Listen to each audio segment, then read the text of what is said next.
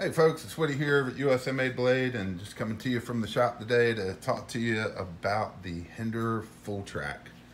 This beast is finally back in stock and we are very excited about it. Uh, this is a knife that just kind of set the internet on fire and, and, set the knife world on fire when it first was introduced at, uh, at Blade Show last year. Uh, one most innovative knife design of the year for 2018 and for good reason. I mean, just a fantastic design. Uh, everything on this knife is just absolutely killer. It's really, really well done. Um, so let's kind of go over it. We're just going to do a quick overview, give you guys some size comparisons, talk about the knife a little bit. So uh, first things we'll hit on it. Let's just give you the specs. Uh, overall length is 8.75 inches. Blade length is 3.75 inches, so a little bit under that big XM24. Uh, weight on these is 6.8 ounces and we are 20 CV steel on these. I know he's going to be switching the steel up when he goes to different models, so uh, but on the spear points that we have, these are 20 CV. So um, anyway, uh, available right now, we've got some anodized versions that came to us, uh, anodized from Hinderer, and we've got black, OD green, and blue G10 on the scales. So I know they're going to be doing some different scales for these, but don't know a time frame. Uh, biggest, coolest factor on these, this was the, the first knife actually introduced. So comes in your standard Hinderer box. And, uh, and there we are, most innovative, uh, innovative American design. And this was the first knife that he ever introduced, not the first knife he produced for, for uh, customers, but the first knife he introduced uh, with the tri-way pivot system on it. So in the back of your box, you get these and comes with the phosphor bronze and the uh, Teflon washers and then instructions on how to go to the video and change it out and everything. So that was really cool and really neat. And we've certainly talked about the tri-way pivot plenty because it's come out on other knives before they got the production full tracks out. But the other really cool part about this knife is, and my favorite part, to be honest, is the inboard onboard tool. Um, this thing, as you can hear, excuse me, uh, allergies are killing me right now.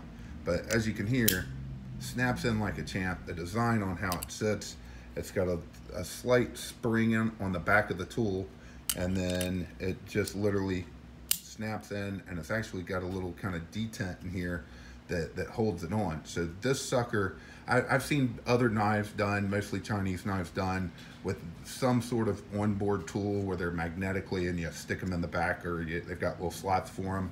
And I, I, years ago, I tried carrying one of those things and I think I lost all the bits or whatever in no time at all. They fell out all the time, find them in my pockets. Not this. This some bitch is on here. So it's not going to go anywhere. Uh, it's, it's, it's still easy to access, easy to put back. And so just a fantastic design. Uh, other things about this knife, it's gonna be hard to show at this angle, but incredibly smooth on those bearings. Uh, easy to, to change everything up on. So just, just a fantastic design. Um, so let me get mine out here, move this out of the way, because I'm not about to use a tool on a new knife, but I wanted to show a new one to start.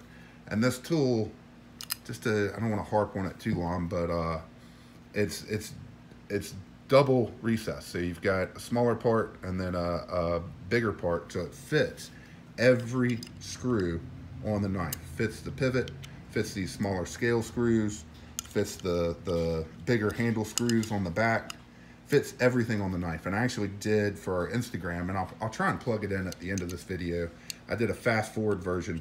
The only thing it does not fit is this uh, steel lock insert, which they really don't want you messing with unless you know what you're doing anyway. So, um, but what a just fabulous idea. So if you want to change out your your pivot or if you or, you know change to, to different uh, washers, you can certainly do that on the fly just about anywhere. It really doesn't take long at all. Um, I can break down the entire knife, put the whole thing back together in under 10 minutes. Um, and, and that's while trying to do it behind a camera because I did it for a video the other night. So, um, but like I said, we'll include that at the end. Just, just a great design. I mean, it really is. Um, lock up on these is great. And man, the feel in the hand, it just, you're, you're to have no problem if you've got big hands holding on to this knife. It feels fantastic in the hand. Um, so very good lockup, very good action on these. I have found that, that I have more success kind of using my thumbnail a little bit and just, just putting it right in between. I've shown that technique to some other people in the store and, and they've said they've, they found that to be the most successful way to open and close it. But great action on them. So anyway, let's jump over. I'm not gonna cut or edit or anything. Uh, so do some comparisons here.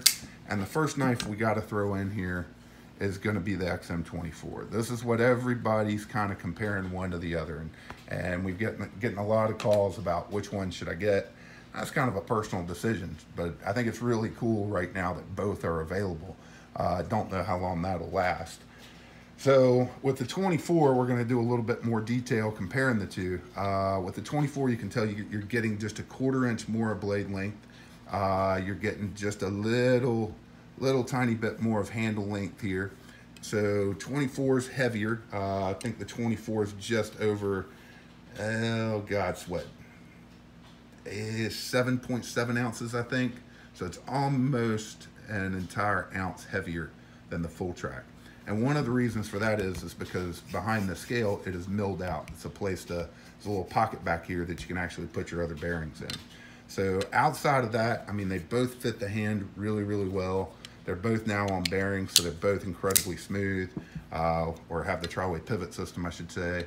Um, so it's kind of a tough call, but honestly, uh, thickness on the back here, you do get a little bit more handle thickness out of the 24 uh, but you're a little wider on the handle, especially down here at the base uh, on the on the full track. So tough call. Uh, both fantastic knives and, and both very close in price range. Actually, identical in the in the uh, stone washed and working finish.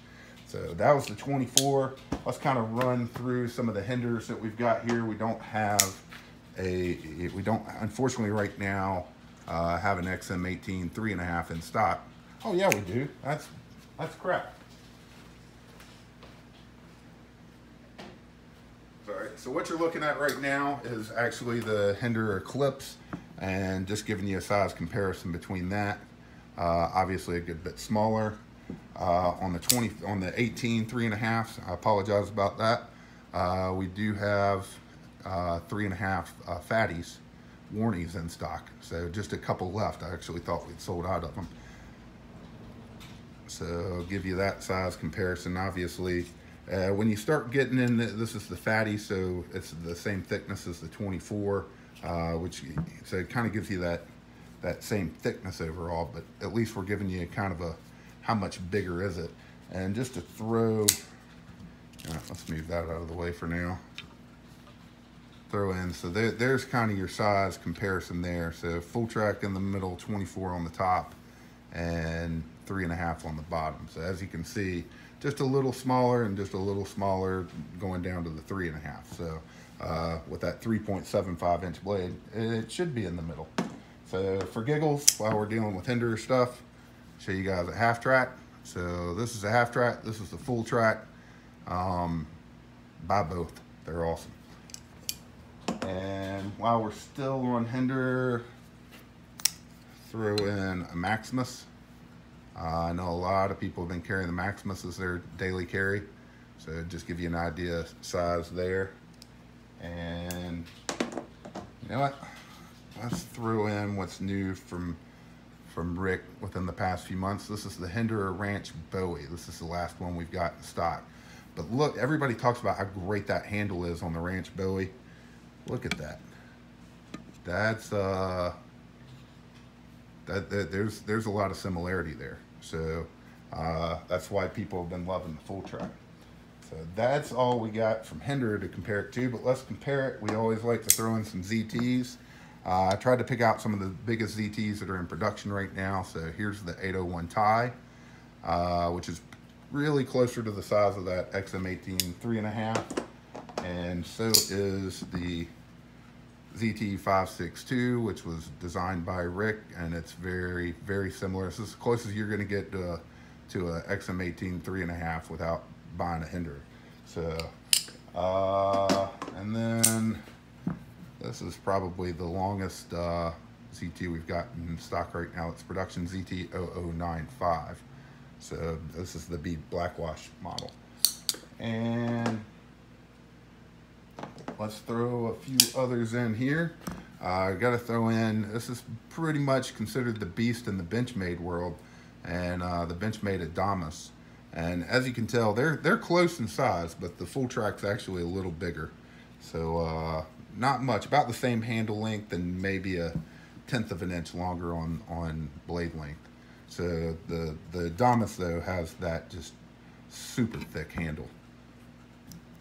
All right. And while we're dealing with Benchmade, let's throw in the full-size Crooked River. Just kind of giving you that for an overall length. We've sold a lot of Crooked Rivers over the past year or so, so I know we've got some customers out there that have those. And then we always like to give a shout out to Southern Grind, and here's the Southern Grind Bad Monkey. And pretty darn similar in overall length, but just just different knives in a lot of ways. So, folks, that's it. I'm gonna try and throw in that fast uh, breakdown and and uh, reassembly video. It's it's literally about half a minute long because we did it in a, a time lapse speed up thing, whatever you want to call it. But this is it. This is the Hinderer uh, full track. It's badass. It's just an amazing knife. So we hope you'll check it out. We have these available now and back in stock. We were one of the first to get them and they flew off the shelves. So we're happy to have them back. And they are available at usamadeblade.com. And as always, we appreciate you watching.